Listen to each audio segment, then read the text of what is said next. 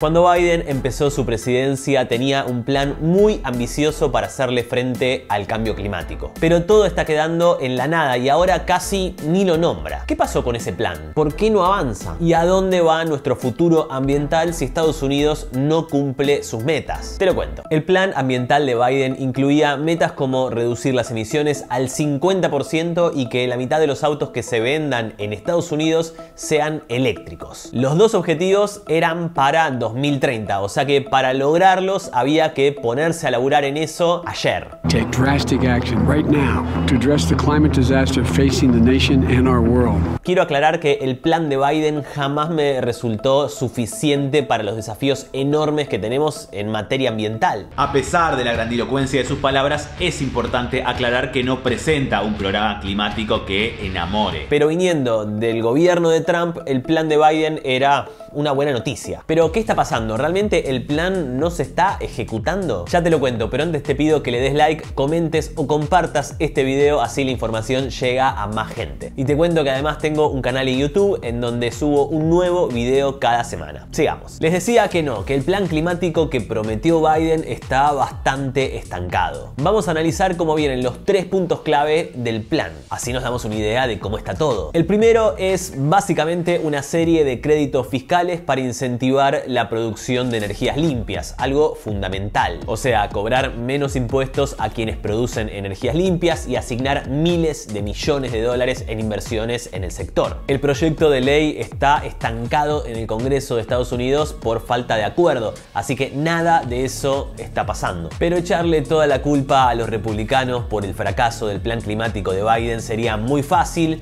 en parte sería acertado, pero no explicaría el problema total. Porque el segundo punto del plan climático que prometió Biden también está estancado, aunque no tiene que pasar por el Congreso. Es el que les contaba antes, la mitad de los autos eléctricos que se vendan en Estados Unidos para 2030 tendrían que ser eléctricos. Los autos a combustión son el primer emisor de gases de efecto invernadero en Estados Unidos esta medida tampoco está avanzando. El tercer punto central en el plan climático de Biden era regular las plantas de energía. Todo esto me hace acordar mucho al SimCity 2000 cuando ponías las plantas y creabas la ciudad. En términos generales, la idea era convertir al sector energético de Estados Unidos en un sector verde, con fuentes principalmente de energía solar y eólica. Bueno, tampoco está sucediendo nada de eso. Y tampoco tiene que pasar por el Congreso, donde gran parte de los republicanos se oponen a este tipo de reglamentaciones relacionadas con el cambio climático. No pasa por ahí. Y no solo no está avanzando el plan climático de Biden, sino que tampoco se está hablando del tema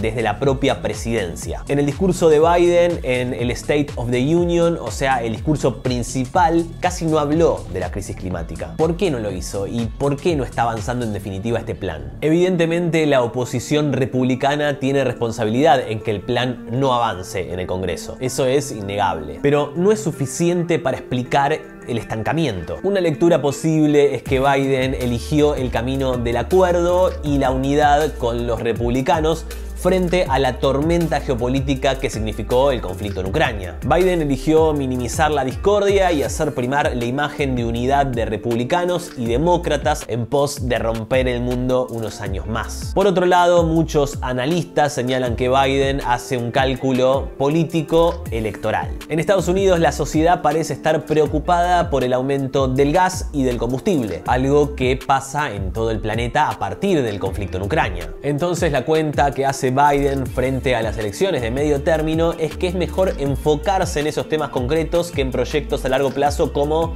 no extinguirnos por el cambio climático, que encima tampoco es a tan largo plazo. Pero entonces, ¿Biden saca el pie del acelerador respecto a su plan climático por la guerra? Bueno, yo no estaría de acuerdo en pensar de esa manera. El conflicto podría haber servido como plataforma para dar un salto hacia las energías limpias. O sea, imagínense, podría ser un salto a decir, podríamos dejar de depender del petróleo y del gas, podríamos usar energías limpias y abundantes, pero Biden parece más bien estar eligiendo el camino más seguro para las elecciones vez. Claro que no todo está perdido y la presión de los electores a los que sí les importa esta agenda ambiental puede jugar un rol importante. Pero esta situación deja a Estados Unidos mal parado a nivel mundial, porque pierde una vez más, como lo hizo durante la administración de Trump, la credibilidad en cuanto a su compromiso ambiental. Y en este barco estamos todos juntos. Si Estados Unidos no avanza con una agenda ambiental creíble y constante, no hay manera de que tengamos algún tipo de éxito en alcanzar las metas, por más